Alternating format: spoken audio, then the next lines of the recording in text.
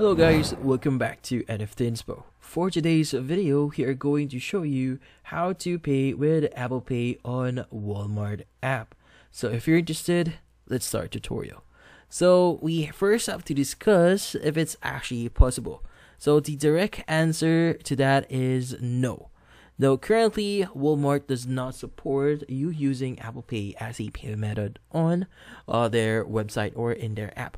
Now, despite the widespread use of Apple Pay, Walmart's registers do not display Apple's logo. This strategic decision may be aimed at encouraging customers to utilize Walmart's proprietary app known as Walmart Pay.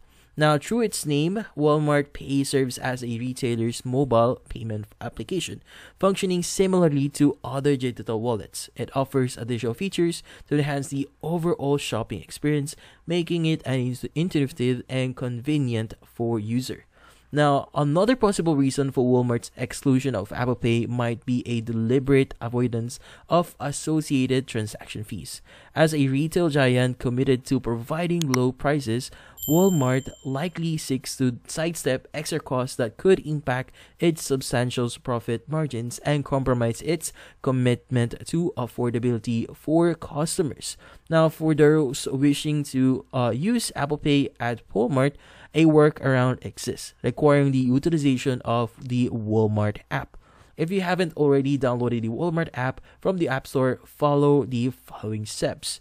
Now, need to, what you need to do first is you need to open the Walmart app on your iPhone and sign in and to create your account.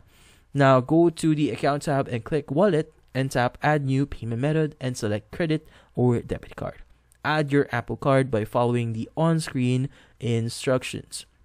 Now, once added, you can use your Apple Card through Walmart Pay for purchases at any self checkout.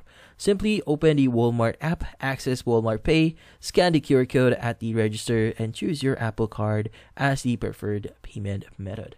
And that's about it. So hopefully this video was able to help you like and subscribe to NFT Inspo. Thank you for watching